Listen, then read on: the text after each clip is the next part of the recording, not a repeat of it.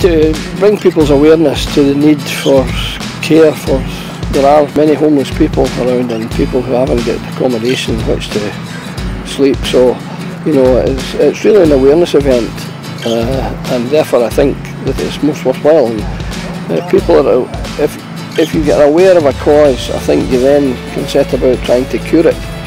So like in any illness. If there's if you can diagnose first and realise that there is a there is a concern then you can set about trying to do something about it.